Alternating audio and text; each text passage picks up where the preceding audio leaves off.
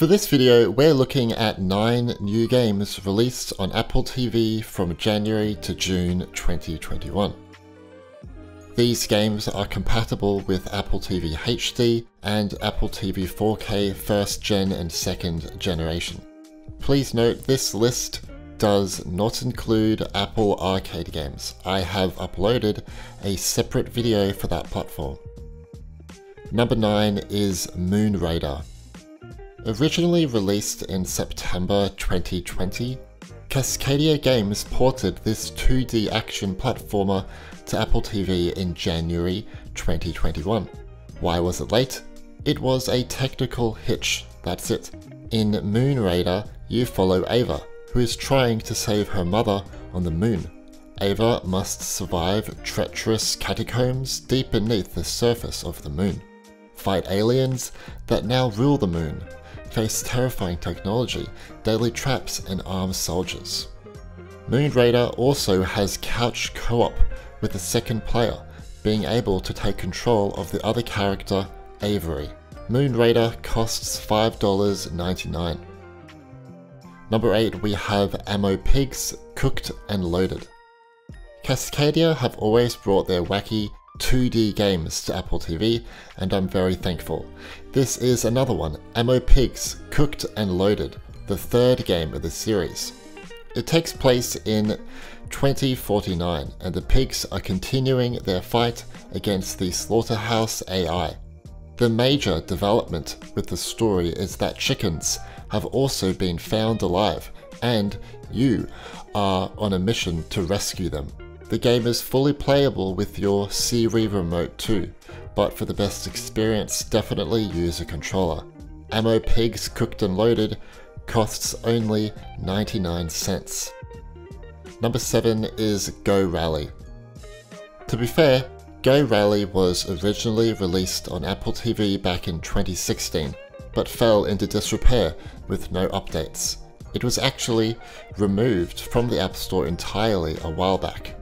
Well, in early 2021, Input Wish finally brought it back.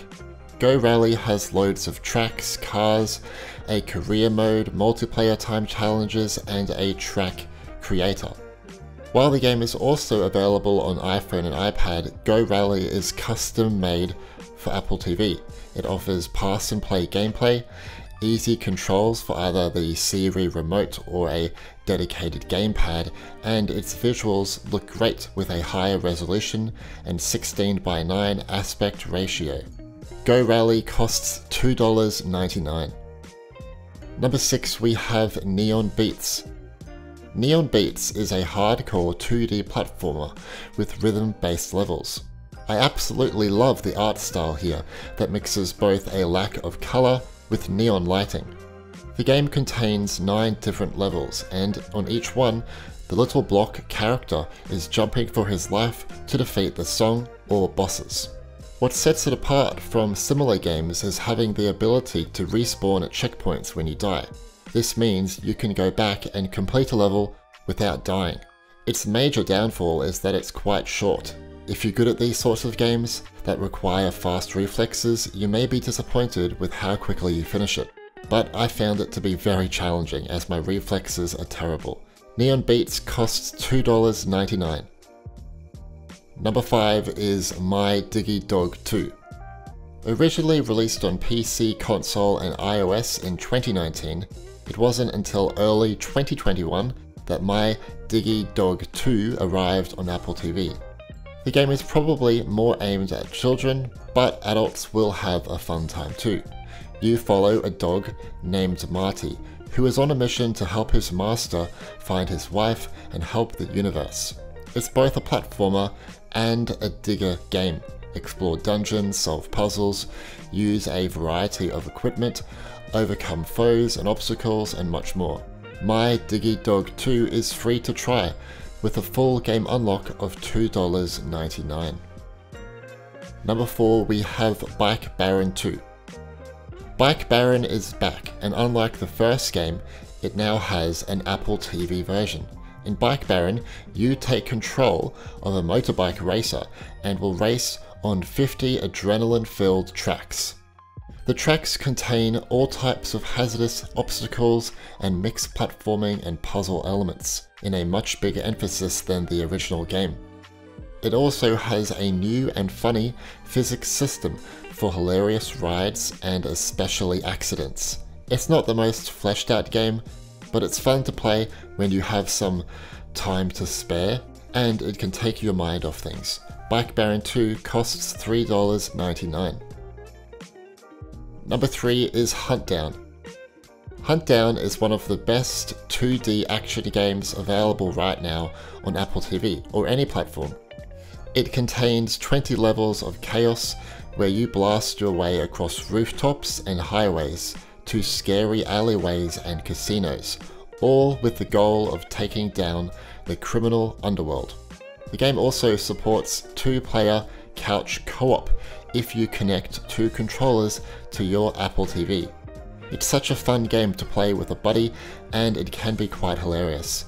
Hunt Down is free to try with an in-app purchase to buy the full game for $8.99. Number 2 we have SpongeBob SquarePants Battle for Bikini Bottom. 3D platformer Battle for Bikini Bottom made a surprise release on Apple TV. Playing this game on Apple TV is definitely the best experience compared to iPhone and iPad, as it provides a true console experience. In fact, Handy Games have optimized the Apple TV 4K version better than other consoles, with full 1080p and 60 FPS support. It also has custom graphic options that you won't find on other platforms. So if you have an old Apple TV, you can scale down the resolution, quality, frame rate, and so on. I know it's based on a children's show, but the game has been targeted for all ages, and I strongly suggest it. Number 1 we have Beach Buggy Racing 2 Island Adventure.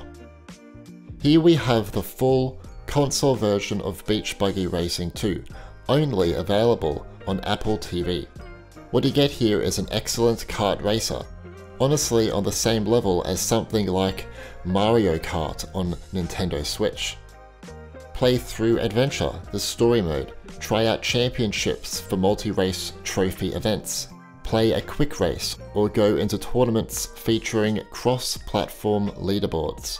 The game also has 4-player split screen, if you have an Apple TV 4K model, the game will play at 1080p, max settings and 60 FPS. Here are two upcoming Apple TV games. Titan Quest Legendary Edition will soon be coming to Apple TV. Handy Games recently confirmed this saying the game now uses CloudKit to make it compatible with the coming Apple TV version. Rush Rally Origins is a top-down racer that is expected to come to iPhone, iPad and Apple TV in August. Rush Rally 2 and 3 are also available on Apple TV, so it makes sense that this game will be too. What do you think of this list of new Apple TV games from the first half of 2021? Impressed or disappointed? Let me know in the comments. A short list? Yes but this is to be expected as Apple TV is a very unknown gaming platform in the eyes of developers and especially you, the general public. It's honestly a miracle that we have so many high quality games this early on in the year, even if it's only 9. Anyway, leave a like to show your support and subscribe and turn on notifications to stay up to date with everything Apple TV gaming related. My name is Stewie and thanks for watching.